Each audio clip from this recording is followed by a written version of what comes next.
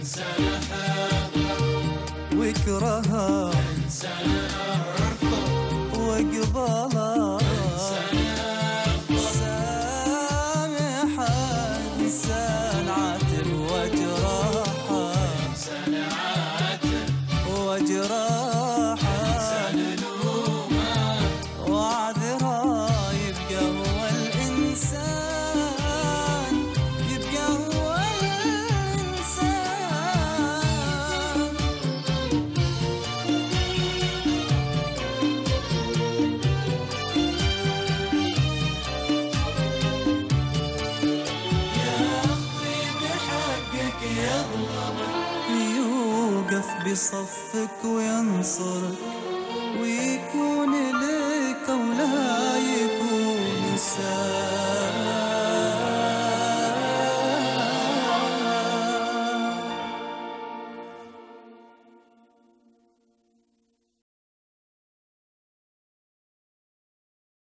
إنه أكيد عنده أسباب الخاصة اللي خلته يحافظ عليك بهذه الطريقة.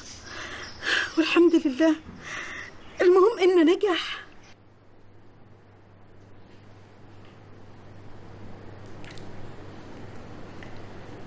ليش مسكر نقالك؟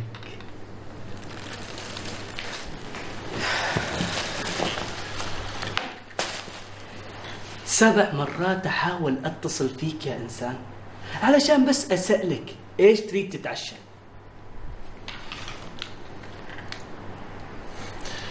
ما انتبهت بطارية فرغت خير.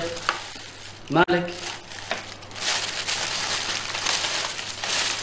لما تفكر تتكلم أنا موجود. تعال تعال تعال تعشى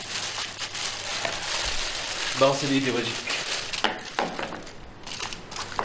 طيب بالمرة جيب معاك صحنين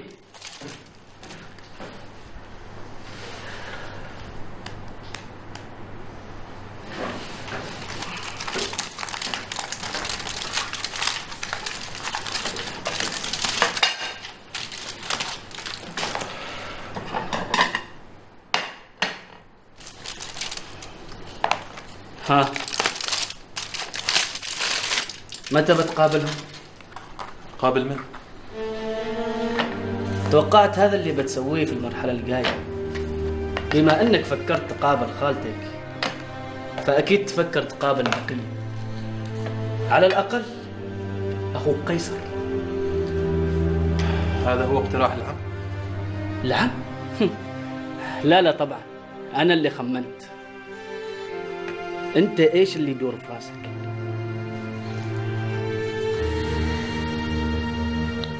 هو اللي اختار الوقت اللي أقابل فيه الخالة مريم. أتوقع لازم أنتظره يقرر متى أقابلها. كأنك ما راضي الحمد لله أنا شبعت لازم أروح أنام. ما كملت عشاك؟ ليش مستعجل؟ بكرة وراي مشوار مهم. تصبح على خير.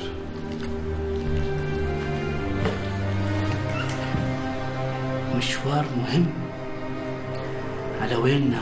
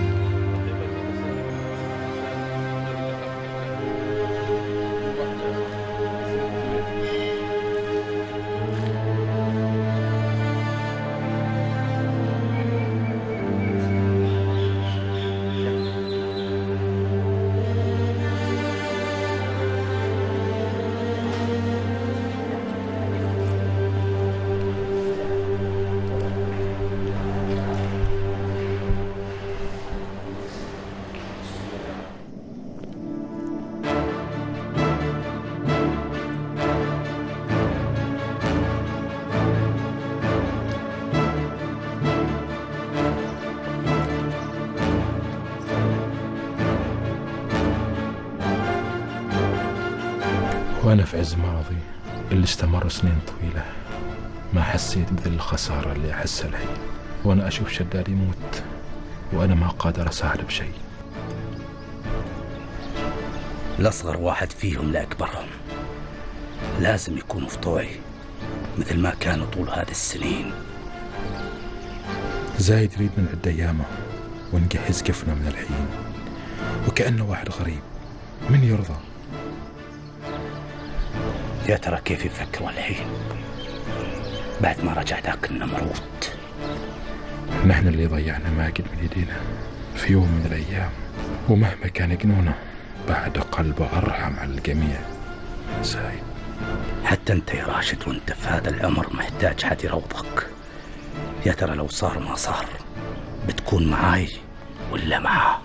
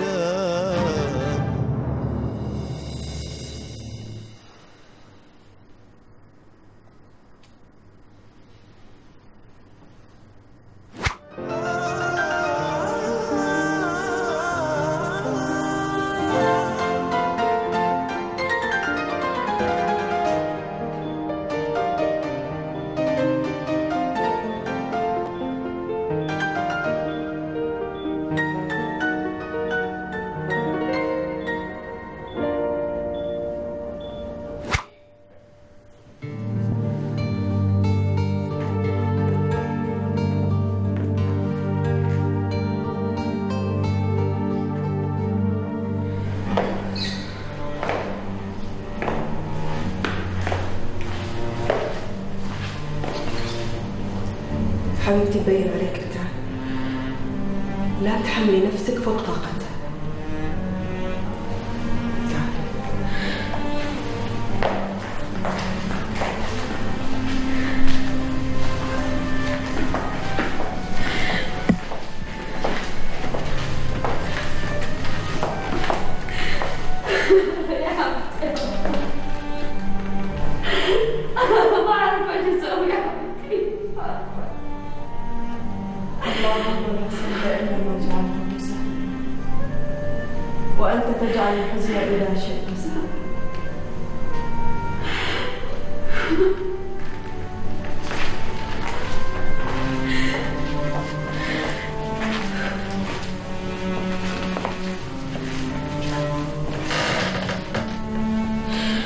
مأجورة يا رضية وكلنا في ميزان حسناتك. يعلم الله أني ما أفكر في نفسي. أنا رضيت وقنعت بالحياة اللي عشتها مع الشداد. هو كل حياتي وانفاسي يا عمتي أنا أتعذب لأن هو يتألم. يتألم ويعاني.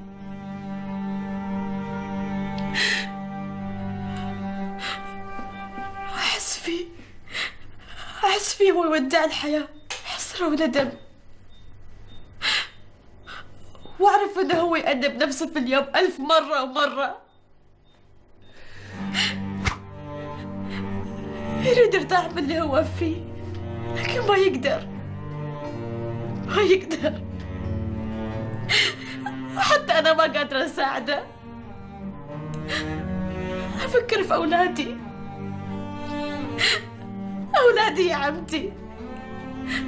كيف ممكن في لحظة يكونوا يتامى؟ وينحرموا من أبوهم وهم في العمر.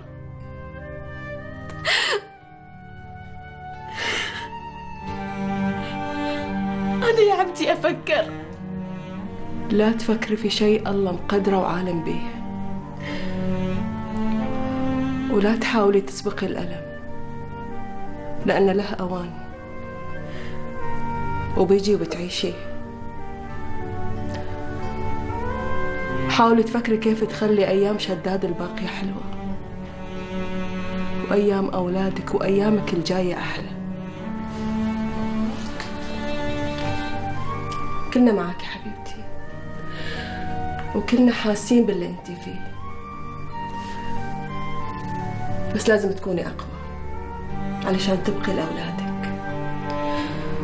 وحتى ما تكون خسارتهم أب مات بمرض وأم ماتت بقهر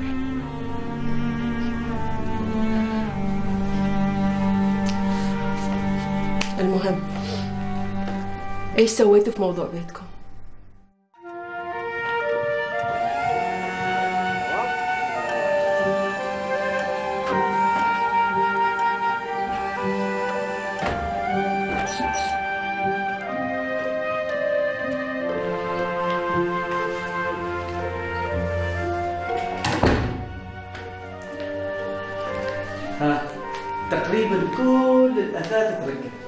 ما قلت لي إيش رأيك في المكان؟ هذه الفيلا من اختيارك؟ لا لا طبعا. هذا اختارها شداد وزبده توقعتك بتقول لعم ماجد. هو طبعا رشح هذا الفيلا من بين مجموعة كثيره بس كان الاختيار الأخير له هو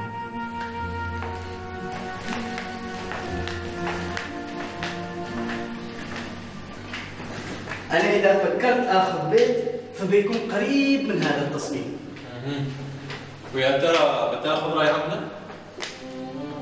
أسئلتك هذه وراها شيء إيش هناك؟ طيب تحرك ليش وقفت؟ بالأول تكلم وجاوب على سؤال بجاوبك بس تحرك علشان نكسب الوقت ونلحق نشوف الطابق الثاني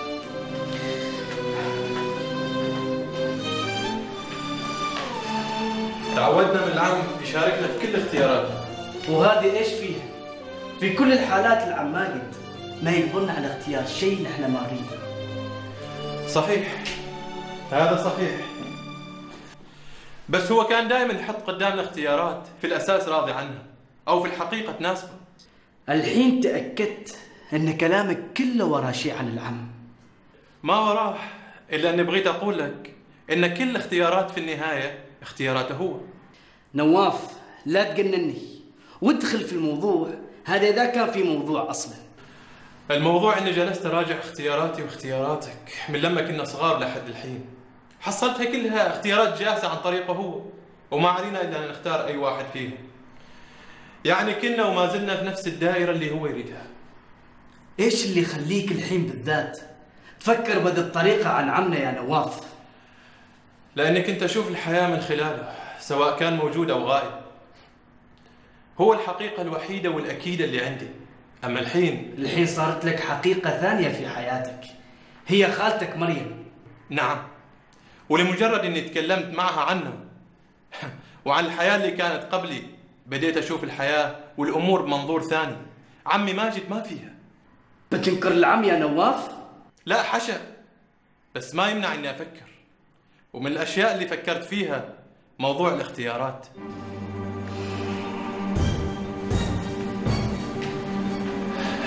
سعد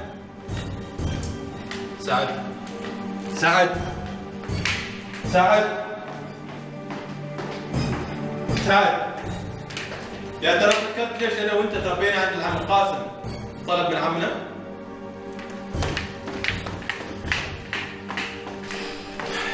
ليش؟ ممكن تجاوبني ليش؟ نواف حسن طيب ممكن تقول لي ليش ما كنا مع حد من أهل المرحوم أبوك؟ أنت تعرف كيف كانت حالته الصحية والعم قاسم ولد خالة أبوي اذا كنت نسيت وليش يحطنا عنده وهم في الأساس مختلفين؟ وأنا وأنت نعرف هذا الشيء طول حياتنا. يمكن يمكن لأنه ما عنده خيار ثاني خصوصا بعد وفاة أبوي يمكن في السنين اللي كانت فيها خالتي مريم صغيرة، لكن بعدها ليش ما عشنا عندها؟ ما كان هذا أفضل وهو يعرف زوجها هلال؟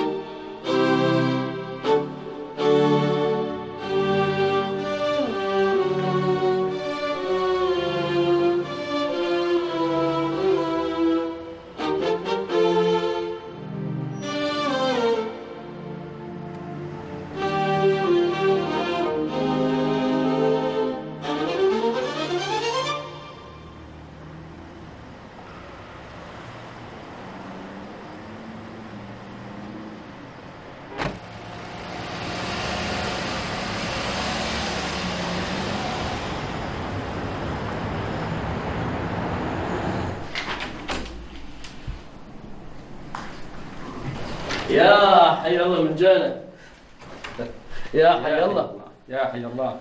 أنا ما صدقت إذني لما قالوا لي إنك موجود هنا. أيوه بعد ما قصروا ذول المعضلين اللي عندك حتى عصاي وفتشوها ما عليه أعذرهم وسامحني أنا. بس الواجب نحن نجيك العود. ما أنت اللي تتعنى؟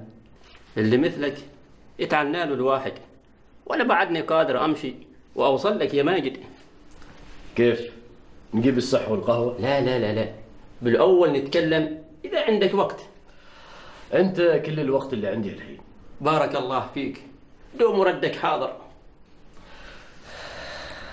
هذا اللي تعلمته منك. في أول يوم تقابلنا فيه. أنا ما جاي الحين أتكلم عن الماضي. قول. قول وأنا سمعك يا العود الغالية وعد.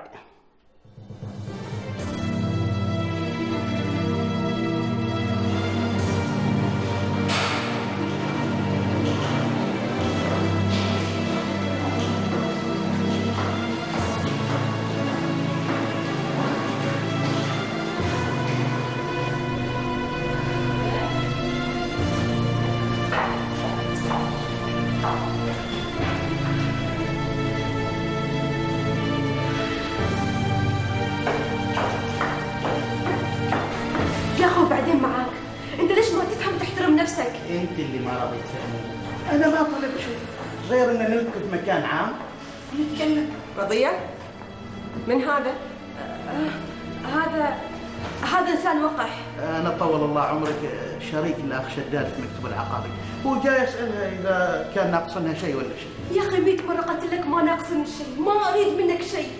عمتي وعد هذا صار لك كم يوم يضايقني.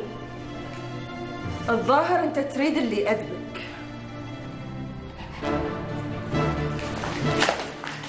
إيش هذا اللي سويتيه؟ وهذا زيادة إذا مو عاجبنك اللي سويته. وإذا ما مشيت من هنا باخذ اللي تحت رجولي وأنت عارف الباقي. حمدي يكفي أرجوك يكفي. ها؟ إيش قلت؟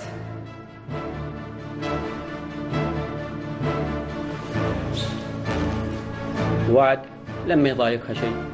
ما تشوف اللي قدامها. تكون إنسانة ثانية. كأنه الواحد ما يعرفها. ومن يقدر يلومها على هذا الوضع اللي وصلت له؟ علشانك ذاك أنا جيتك لحد هنا. ماجد حاول تأجل الاجتماع اللي طلبته منهم. خايف علي منها العود ولا خايف عليها مني؟ انت لما رحت لها المحل كيف شفتها؟ في يوم من الأيام انت وحدك قلت لي إنها كانت مثل النسمة وما كان حد يسمع حسها. كانت معنا من معاني الرحمة على الأرض. كان حنان الكون كله. كانت العود كانت وما زالت مع الكل. بس الأكيد ما بتكون معاك أنت.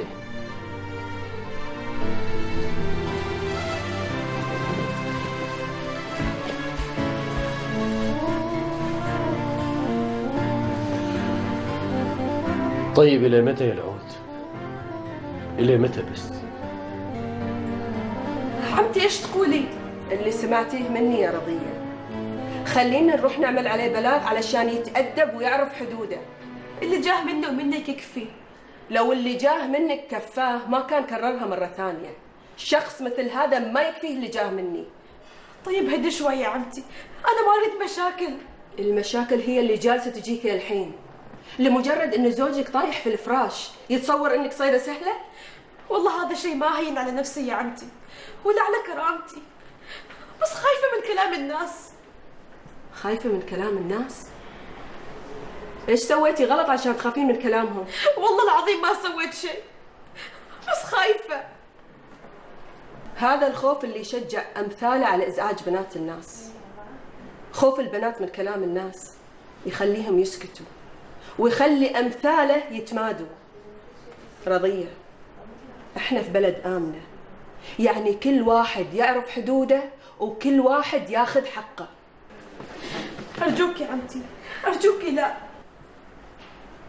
رضيه أنت ليش رافضة؟ من إيش خايفة؟ خايفة من هالنظرة اللي شفتيني فيها يا عمتي. نظرة الشك. لأني رفضت أبلغ عليه. ويمكن قلتي لحظة في نفسك إنه صار شيء بيني وبينه. لا يا بنيتي أنا ما قصدت أنا عمتك. شداد زوجي وروحي. وحلي وكلي. مع هذا شاف علي بنفس النظرة. شداد؟ تخيلي لما نسوي بلاغ ويصير هناك قضية وملف. أبسط واحد من اللي ما يعرفوني بيقولوا. ما في دخان من غير نار. بيقولوا أكيد صار شيء بينهم. أكيد فيها وفيها وفيها. لا يا عمتي لا. لا. نار اللي أنا فيه الحين. ولا دخان الناس هم يعلقوا سمعتي بلسانهم.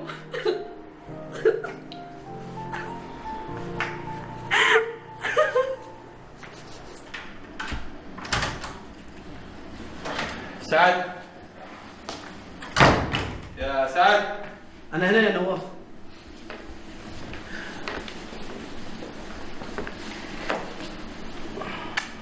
بعرف زعلان مني؟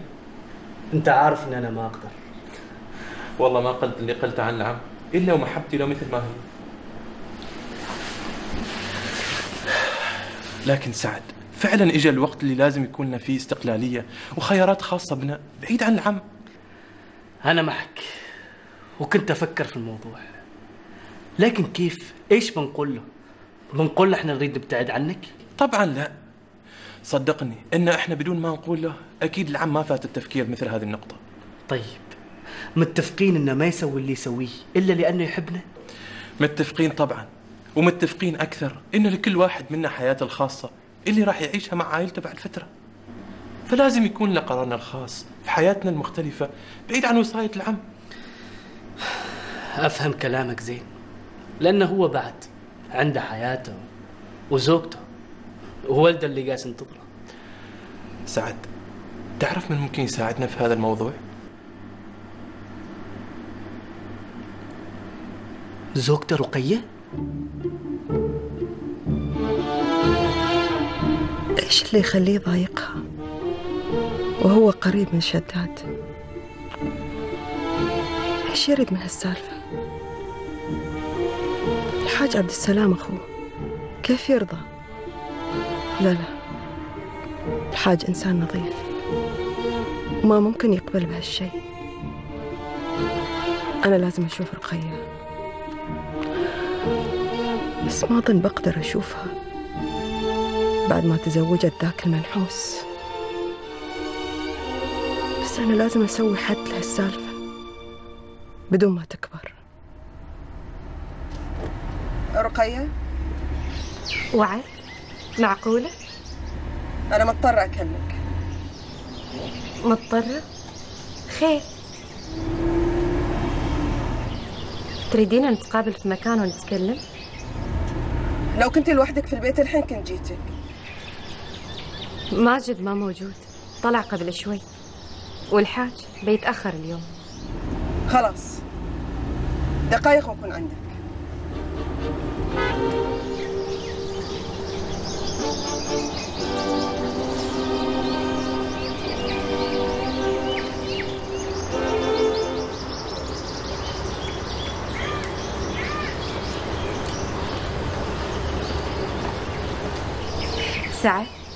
إيش السالفة؟ تفضل استريح توقعتك كالعادة. تيجي قبل ما يطلع عنك ماجد. أنا أنا أعرف إنه هو ما موجود. فعلشان كذا جيت. عذريني لو قيدتي فاجئتك لا تقول هذا الكلام يا سعد. أنا عمري ما سمعت عمك ماجد. يتكلم بالخير. مثل ما يتكلم عنك وعن نواف بتستغربي لو لو سألتك كيف عمي ماجد؟ عمك ماجد بخير. بس ليش تسأل؟ أنت تعرفي إن قبلك ما كان لحد غيري وغير نواف؟ بس ها الحمد لله إنه هو بخير معك. وفي شيء تغير؟ تغير سنة الحياة؟ وممكن هذا اللي بيصير في, ال... في الأيام الجاية. ما فهمت من كلامك. بقول لك على اللي أفكر فيه. بس أرجوك تعينيني لو لو العم ما قد ما وافق عليه. ممكن؟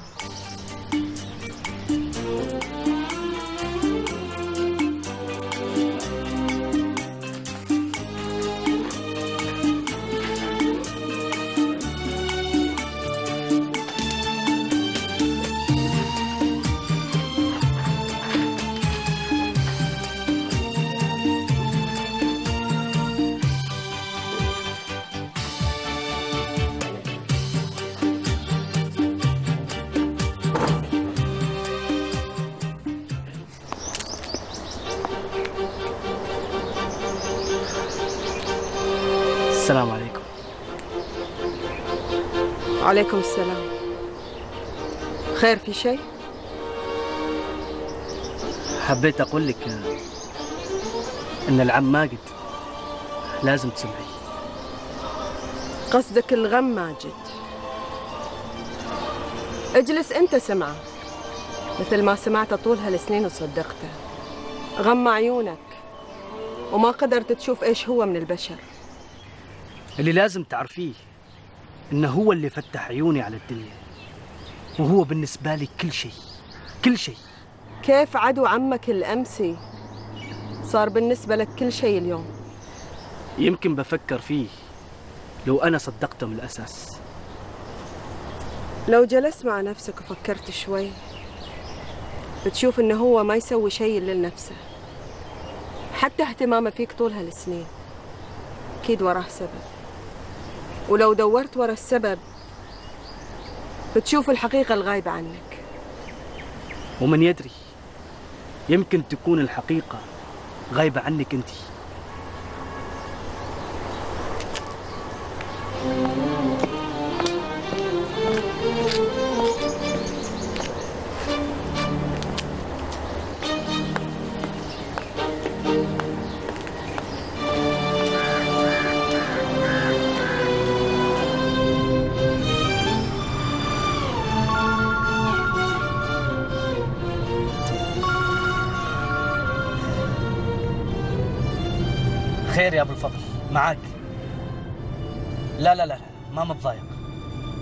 يا سيدي ما منفعل ولا متضايق خير.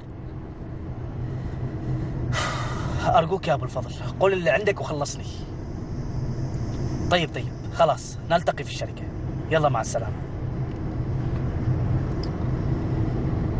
يا ترى أنا استعجلت لما قلت لها محفوظ الله يقبحه. هذا جن ولا إيش؟ إذا تشكوا إنه مجنون دخلوه المصحة علشان يعقل. وكف نفسه عن أذية الناس. وما نقى إلا رضية؟ مفكر إنها ضعيفة وصيدة سهلة. ومفكر إنه ما في أحد وراها علشان يوقفه عند حده. ما حد يلومك باللي تقوليه. أنا كان ودي أسوي أكثر من اللي سمعتيه لأنه فكر بهذه الطريقة. بس أنا قلت أخبركم وأشوف إيش بتسووا معه. وعد. أنت تتكلموا كأنك تقولين إن إحنا عارفين أو إحنا موافقين باللي سواه. لا حول ولا قوة إلا بالله. أنا ما أقصدكم أنتم. حطي نفسك مكانها. زوجة قايمة بزوجها وصابرة ومتحملة كل الضغوطات. يجيها واحد بينه وبين زوجها عشرة وشراكة ويحاول يضايقها. إيش بتسوي؟ أنت تعرف أن رضية صديقتي الوحيدة وما أرضى لها أي ضرر. أما محفوظ أخوي وعارفة زين انتهازي وما يحب إلا نفسه. بس معقول معقولة يوصل لهالمواصيل استغفر الله استغفر الله. أنت هدي من نفسك يا وعد وطمني وأنا أوعدك إن الحاج بيوقفه عند حده.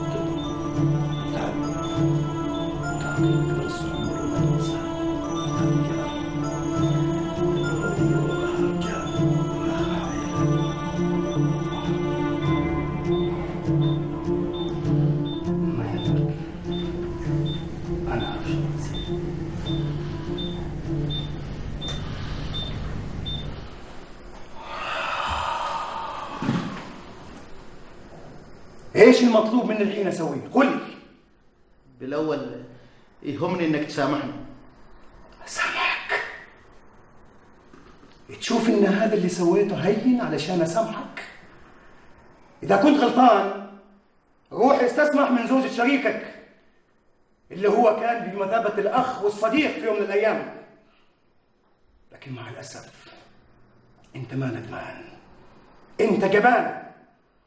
وخايف لا يشتكوا عليك جيت تحتمي بي أنا هنا في المكتب أنا أنا مالي غيرك الحاج.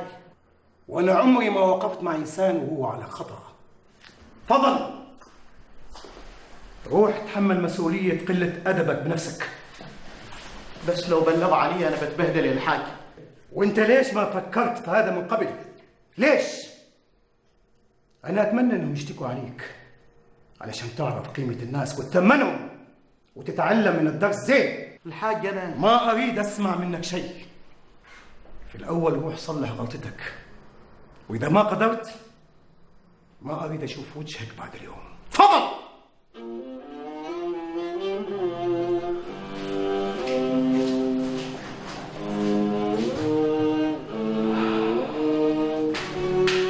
ما بتطلع منها هذه المرة يا محفوظ؟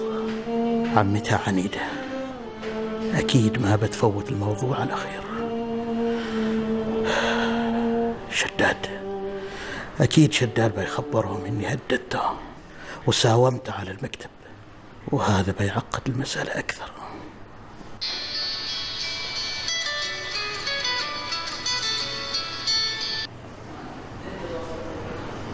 أيوه. من؟ المحامي بالفضل؟ أيوه محفوظ. كده تجيب لي عقود الشركات دي. أنا بتفاهم معاك وبتفاهم مع العام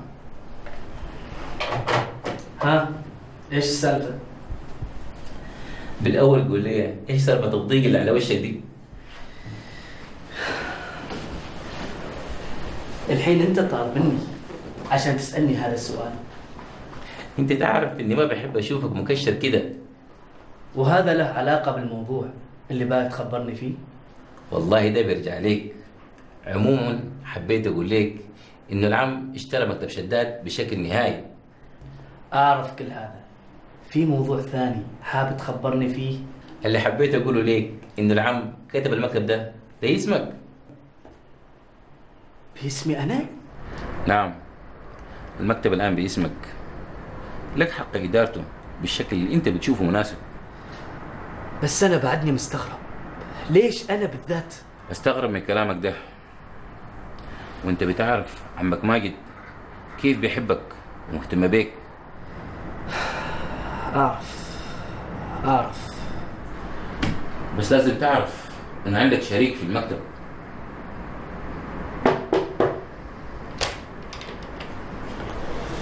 السلام عليكم. عليكم السلام ورحمة الله وبركاته. هذا هو الشريك؟ دقيقة دقيقة يا شباب. استريحوا تفضل.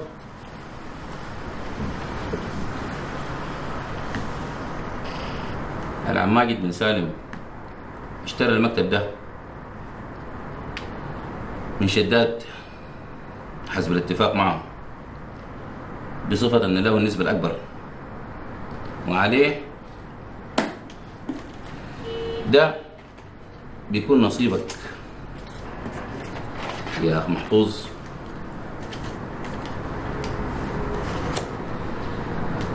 بينما تمت كتابة المكتب باسمك. زي ما كلمتك يا سعد.